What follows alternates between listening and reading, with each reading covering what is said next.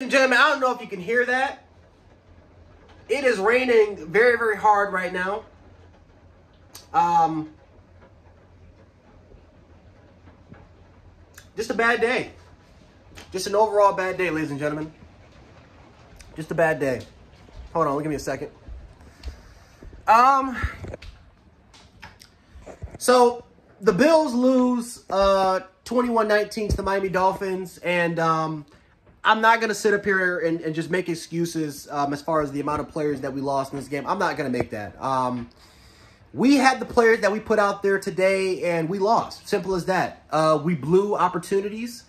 Uh, we had a pick six that we dropped. We had a touchdown that we dropped. Josh Allen missed. Uh, uh Josh Allen missed a wide open Isaiah McKenzie uh, on the right side of the end zone. Um, we had opportunities to win this game. Even after the punter kicked the ball right in right on the defender's ass, we still had an opportunity with a minute and 37 left to win this game, and we didn't do it. Um, I just whether if we would have won this game or not, I just wanted to get the fuck out of Miami. I mean, I never again. I'm not a big fan of the cold, but let me tell you something right here. I can't wait until we play Miami in the cold. I will be there at that game. Um, and but I will say this: this rivalry is back. The rivalry is back. It is rejuvenated, and I can't wait for it. I will be at that game. I don't care if it's 10 degrees, 5 degrees, 0 degrees, snowing. I don't give a shit. I will be at that game. Um, this game right here, ladies and gentlemen, we should... I, I, uh, I talked about this before in my earlier Bills videos. The Bills will only lose to the Buffalo Bills. Now, again, I'm going to give credit to Miami because they did a hell of a job. Their defense came up and made some really, really critical stops. But we also had what we but we literally also had we left points on the board. Turnovers became a huge issue. Avoidable issues, by the way, if Sean McDermott would have just called the timeout. Uh, because we were we were confused. There were like two seconds left on the clock. We weren't even set, and we forced it. Sean McDermott should have called the timeout. Josh Allen or Sean, one of those two guys. That's an avoidable mistake. We save points on the board if we do that. That resulted, that turnover resulted in a touchdown. Uh, we guys, we just missed on so many opportunities. I mean, this video could be an hour long on the amount of opportunities that we missed. Um, it, another thing too, guys, this weather was killer. This weather was very, very killer. Um, I know a lot of people are going to be talking about this stadium. Listen, I've been talking about Hard Rock Stadium for years, both for college and for uh, and for the pros.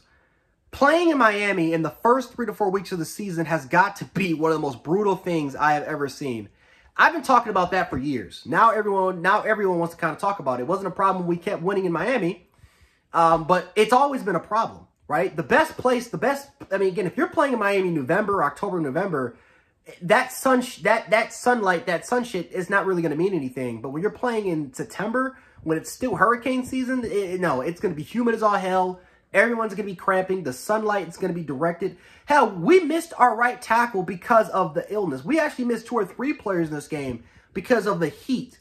Now, again, do I think the NFL should do something about this? I said this four years ago when I, I said this around, I think, what, three, four years ago, that they need to do something about that damn stadium because it is it is brutal to play in Miami in the first four games. That's why it's one of the most difficult places to play in the NFL. And, and it, it's, it's one of the most difficult places to play. And honestly, I don't under, I, how the fuck, if you're a Hurricanes fan, how do you not take advantage of that damn stadium? I, I don't know. Um, but yeah, guys, you know, but I'm not going to sit up here and use the stadium that much as an excuse. Um, because like I said, you can't, you, no matter how much you try to hydrate, you can't really prepare for it. It is what it is. You got to come prepared and you got to come prepared with the game plan. Um, we did a really good job of not letting Miami back on the field. And when they and when they were on the field, they didn't really capitalize that much on, on a lot of opportunities. Granted, they scored 21 points, but that's what I wanted them to do, right? When you miss Tre'Davious White, when you miss Dane Jackson, when you miss uh, Christian Benford, who was out the rest of the game game, so we had to put our third string cornerback out there. Uh, Damar, again, Micah Hyde's out for the rest of the year. Jordan Poyer's out. All like we, Jordan Phillips, gone. Oliver, gone. When you miss all these players, 21 points is a fucking luxury. Like that is something that, that if, if you were to if you were to tell me yesterday or a little bit earlier this morning that the Miami Dolphins would only score 21 points, I'm like, oh, we're we're we're gonna win this game. We had an opportunity to, we had so many opportunities to win this game and we didn't do it. Why? Because the only team that beats the Buffalo Bills are themselves.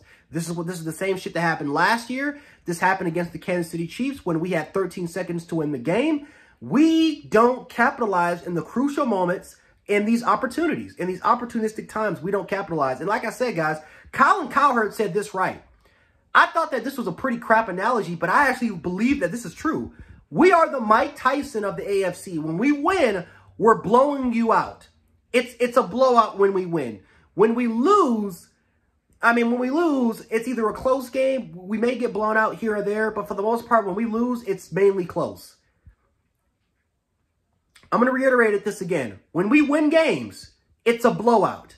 When we lose games, it's either close, sometimes can be a blowout, but it's mainly close. And it's because we don't capitalize on the opportunities that teams are literally handling, uh, handling us. Tua gave us a pick six. Literally gave us a, a pick six.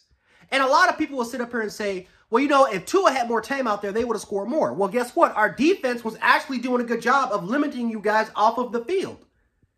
We, we did a really good job with Tua. Let's be honest. We did a really good job. Now, granted, he got concussed or I believe he got concussed. I don't know. They're saying he had back issues prior to the game and that when he landed on his back, that's the reason why he collapsed. I'm not too sure. I'm, I'm hoping that that's the case because if, if this is a concussion, if we find out that this is a concussion, the NFL is going to have to step and investigate because I don't care if Miami or if we would have won or Miami would have won. I don't care. Player safety fucking matters. And by the way, again, Tua is one of my favorite quarterbacks. Again, I'm a huge Alabama fan, so I always so when Tua went down, the first thing I tweeted was that dude, that's a dirty ass hit by Milano. I don't think it was malicious intent, but it was extremely dirty. I'm going to be the first one to come out. We got to be fair by that. But guys, we we got we should have won this game. We should have won this game. But again, the should have, would have, could have. I'm tired of coming up here and sit up here and saying this. Now, again, if we would have played assigned football, capitalized on all the opportunities and still lost, we just lost to the better team. But it honestly felt like we simply just, like we simply handed Miami this football game. And the funny part is, towards the end of the game, Miami was trying to hand us the win and we didn't want to take it. So even when Miami was giving us opportunities, we didn't even want to sit up there and take it.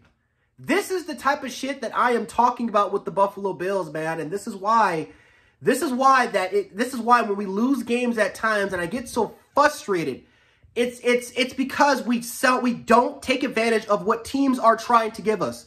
Now we lose not just a crucial divisional game, but next week we have to go to Baltimore on the road at Baltimore in a very tough environment with with, with I don't know I don't even know how many starters are out. Like we had at least what, what 10 or 11 starters out. Now we have to go into that game banged up.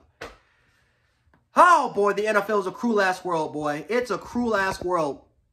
But anyway, guys, that's that's gonna do it for me. Congratulations to the Miami Dolphins. Uh, especially shout out to Nathan. Um, huge friend of uh, huge friend of my family. I know he's been he's been wanting Miami to win for a long time. He's gonna talk his shit. But congratulations to him. Congratulations to all Dolphins fans out there. You guys deserve this win.